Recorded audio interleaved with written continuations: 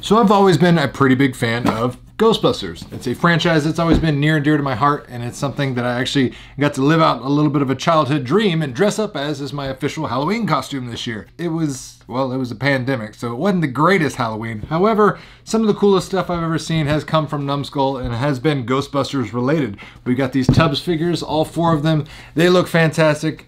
Already seen the light up sign. This is a must have for any game room. So you can imagine my surprise and excitement when I got a new box in the mail from the fine folks over at Numskull. Opened it up and I saw this inside.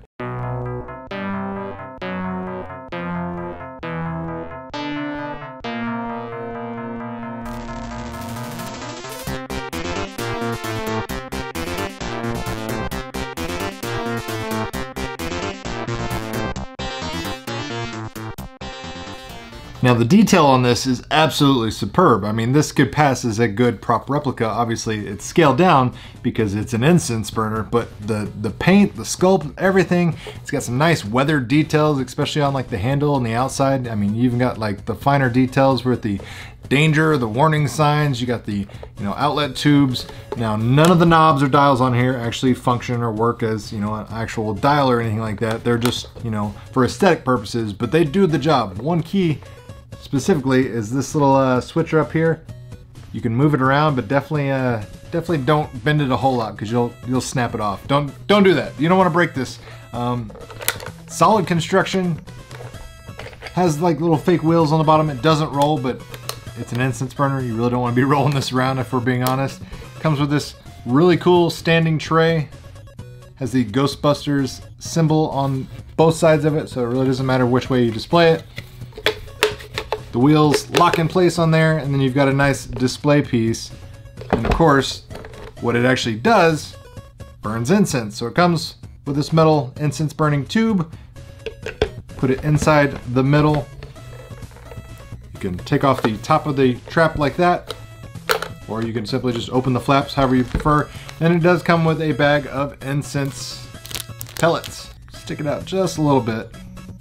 There we go. Trusty lighter. Oh my god. That is a larger flame than I was anticipating. I'm gonna burn my house down. There we go. Incense is a burning. See it burning a little bit. And we will put in the ghost trap. And we should have some very cool smoking effects very shortly. I mean, seriously, this is one of the neatest ideas I've ever seen in my entire life. So this thing is about 10 inches long, 4 inches tall at the tip of the handle, and about 3.5 inches wide. And I gotta say, this is one of those things like I never knew I needed so bad in my entire life until I saw it, and now that I'm seeing it in action, it's fan freaking tastic. And it's hard to describe the pellets that come with it as far as the scent. Um, it's a very simple scent. It's not overwhelming. It doesn't smell like patchouli or anything like that. Um, it's just a very simple scent. I was kind of hoping it was going to smell like uh, roasted marshmallows. Not so lucky, but you could throw whatever incense pellets you want in this thing. But check it out.